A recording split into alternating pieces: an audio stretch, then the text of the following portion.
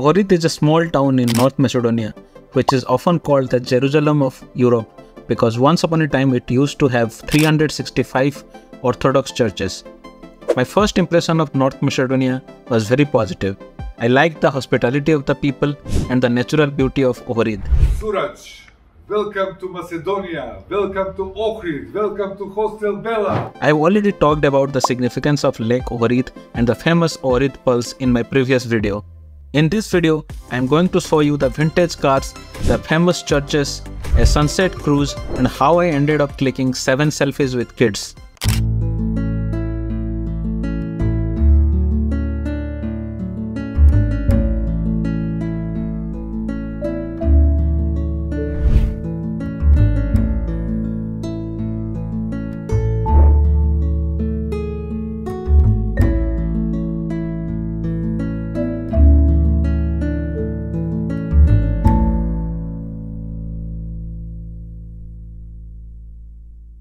Dusko is driving a car which is 50 years old.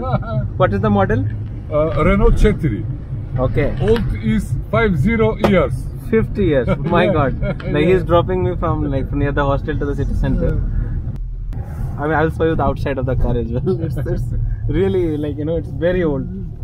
ओरिद में यहाँ पे बस स्टॉप के पास ही बहुत सारे हॉस्टल्स हैं तो एक्चुअली बस स्टॉप के पास हॉस्टल लेने में भी फ़ायदा है ओरिद का बस स्टॉप से सिटी सेंटर जो है वो करीब करीब दो किलोमीटर के आसपास है। तो बीच में अगर आप हॉस्टल लेते हो तो आपको कम्यूट करने में थोड़ा आसानी पड़ेगी। अल्बेनिया या नॉर्थ मैसेडोनिया में जब भी मैं आता हूँ ना मतलब जब भी हर दिन निकलता हूँ मैं तो यहाँ पे लोग थोड़ा घूर घूर के देखते हैं। मतलब एक्चुअली यहाँ पे इंडिया के, इंडिया से ज़्यादा लोग आते नहीं हैं। टूरिस्ट जो है ना, नॉर्थ मैसेडोनिया ज़्यादा आते नहीं है। मतलब अल्बेनिया में भी ज़्यादा नहीं आते बट स्टिल अल्बेनिया में ई वीज़ा का सिस्टम है तो आजकल बहुत सारे इंडियंस आ रहे हैं, लेकिन नॉर्थ में मैसेडोनिया तो बहुत ही कम लोग आते हैं।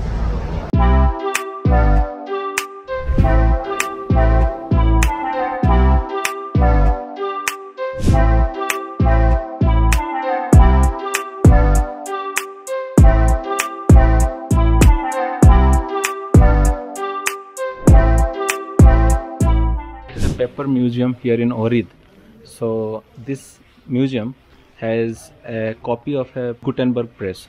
So you know Gutenberg developed the first printing press. So the original printing press of Gutenberg is in Mainz, Germany, but a copy of that press is here.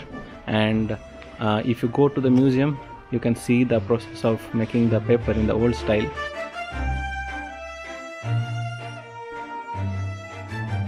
Yes, this replica, original press museum Mainz, Germany. First print 15th century, Gutenberg print the Bible. Two replicas in Europe in function, Bled Slovenia and here. We sold to 170 years. Yeah, it's here in 70 for 70 years now. Procedure for paper. Inside very, very fine fiber, cut it, hardwood. Very fine fibers from oak tree, water, and maybe 70-80% uh, cotton.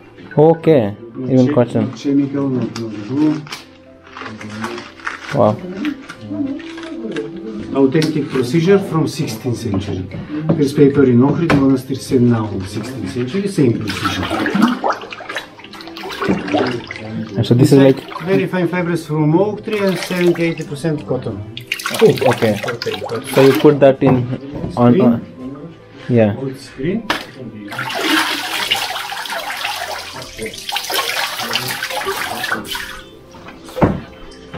A paper to chill. Okay, and you let it dry. Yes. Transfer to felt for drying. How long it takes for drying? Uh, two days. Two days. Two days.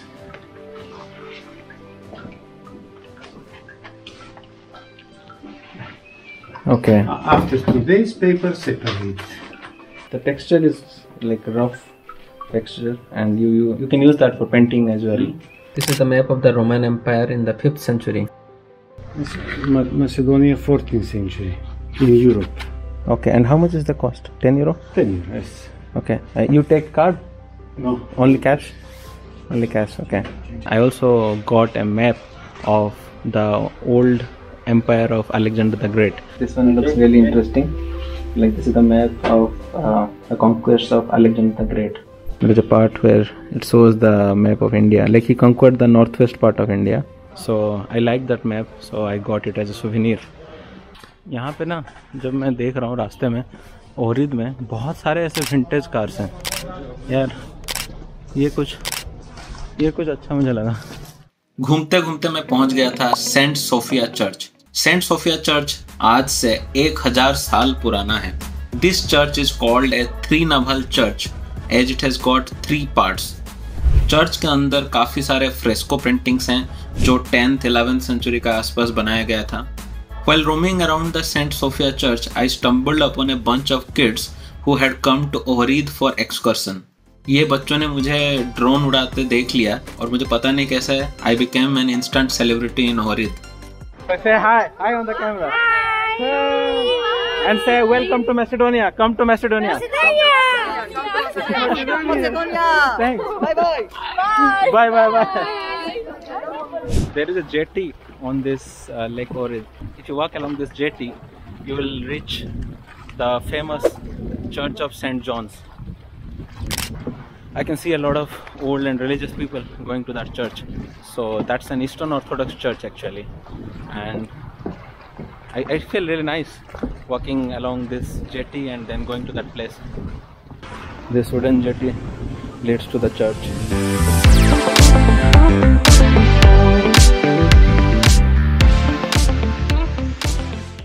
थोड़ा ऊँचा है। मतलब हमारे लिए तो कुछ नहीं है। मतलब कुछ ओल्ड लोग जो थे, उनको चढ़ने में बहुत दिक्कत हो रही है।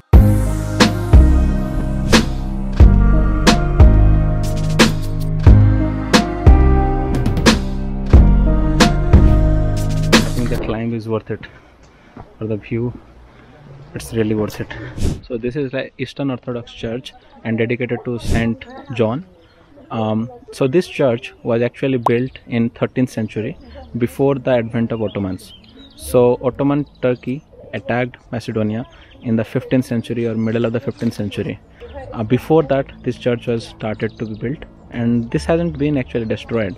So um, this is a well preserved church and it's like 700 years old now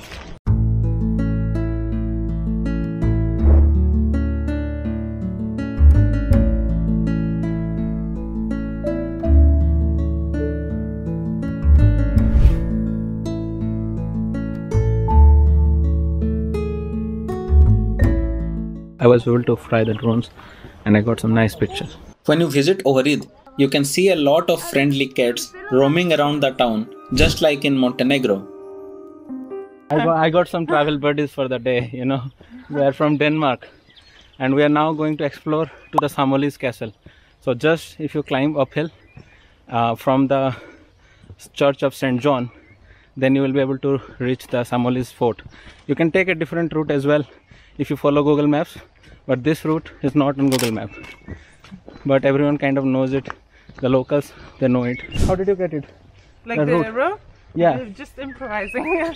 I wrote like the positions of uh, the different places Yeah. because they're like close to each other. Then we could see them. Yeah, in the that's like so old school but so effective. yeah. It works for me. so- Yeah, it works. It works actually because Ohrid is not very big and Yeah. it's, it's it's easy to locate as well.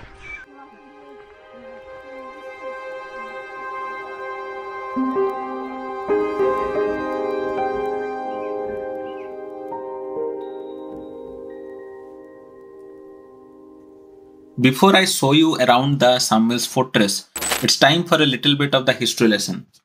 So, Tsar Samuel was a great king of the first Bulgarian Empire. Between 7th century and 11th century, there were several battles fought between the Bulgarian Empire and the Byzantine Empire. Skopje, which is the current capital of North Macedonia, used to be the capital of the older day Bulgaria. As you know, in Slavic countries, kings or emperors are called Tsar. So Tsar Samuel moved his capital from Skopje to Ohrid. He was a great king and he was almost invincible. Four years after the death of Tsar Samuel, the first Bulgarian Empire fell into the hands of the Byzantines. This fortress in the old town of Ohrid is a symbol of legacy of Tsar Samuel. ये जो fort है ये बनाया गया था around 1000 AD मतलब 976 to 1000 AD around that time this was built.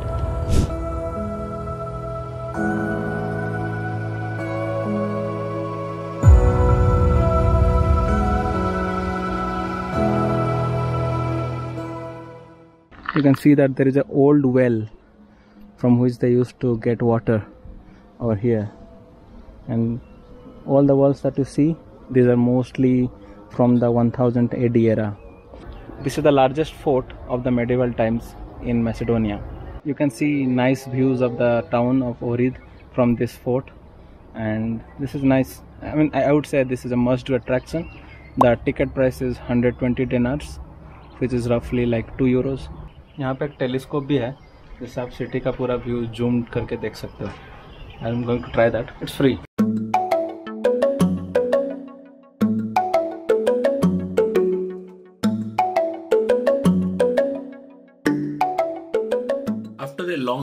day, I decided to take a coffee break. So they have meal and sandwiches as well, you know. Yeah. Yeah, and then they have coffee. They have a Macedonian coffee. I don't understand. Is that a Maybe thing? you should try that. Is it like a Turkish coffee just made it a more dilute? Yeah. I don't know. What is the difference between the Macedonian coffee and Turkish coffee? In every country, uh, the original is Turkish coffee. Okay. Everywhere. But everyone in Bulgaria is Bulgarian coffee. In Greek is Greek coffee, you Okay. know, You- you- Macedonian coffee. We stole it from you. Okay, you stole from Turkey. Yeah. I'm yeah. not from Turkey. Yeah, no, you're I'm not. not from Turkey. And where are you from? Guess, take a guess. I don't know. I'm from India. India. Yes, a little bit, but I don't want to wrong. Purple and mango cheesecake. This looks nice. You can put Coffee with a view. This is. This looks nice.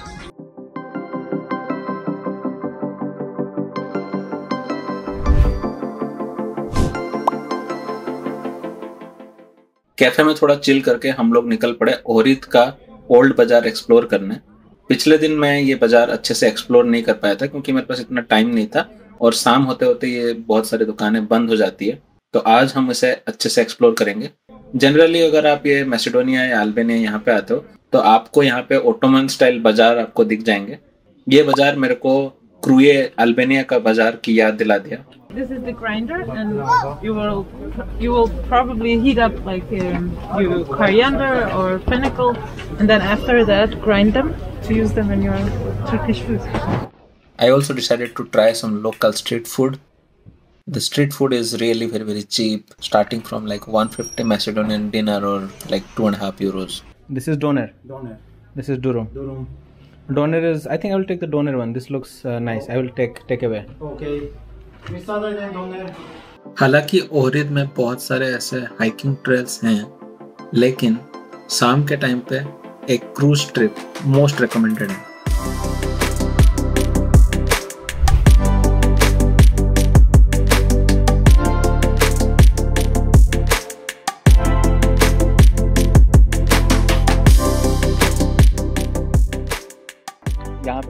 Cruise trip कर रहा हूँ।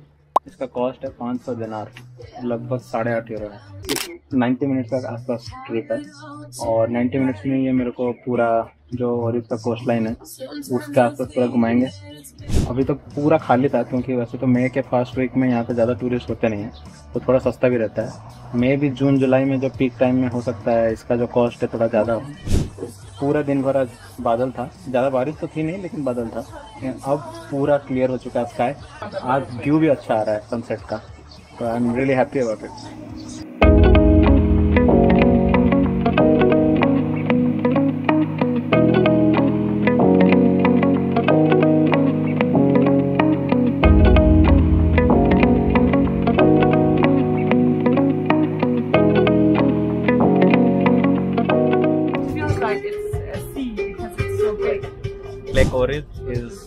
is kind of shared between both Macedonia and Albania, but the good part, the better part, is actually shared uh, by North Macedonia. As the sun went down and the cruise trip came to an end, I decided to call it a day. The next day is another eventful one as I tried scuba diving for the first time in my life. So stay tuned to more travel stories from my European adventures. In, in them with rice and meat. Yeah. Some people call it dolma, and some people call it. There's another word for it called wara ainab. Ainab. Yeah, ainab. And ainab is grapes, and Oh. wara is the leaves for the grapes. And it's in uh, Syrian yeah, but the Okay. I- Iraqi people usually mix that with aubergine and squash, Yeah. and potatoes and onions. Okay. Also fill them. So that's no longer sarma. Yeah, that's another. yeah, yeah.